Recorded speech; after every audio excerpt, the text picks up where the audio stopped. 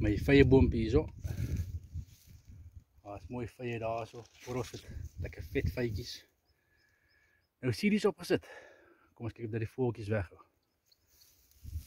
Want dit is 'n bietjie ver van die huis af. So ek kan dit nie beskerm eintlik nie.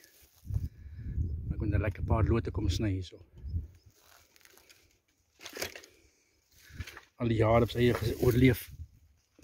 Net maak baie te vruggies. Ek het dit geproe laas jaar of in die begin van die jaar. Ek kan nou wanneer die einde laas jaar. En dit is alright. So, kom ons kyk nou. Verskaal daar is die hok. Ooh, daar is een van die wittes.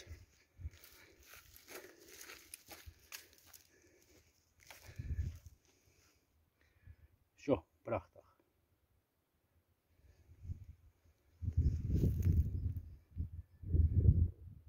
Daar is een kindje.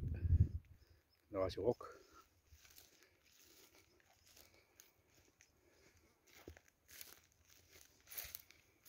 Hier is die pinkbos.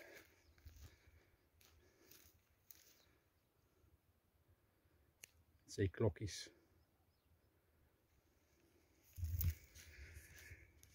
Al die alwyn het klaar geblom.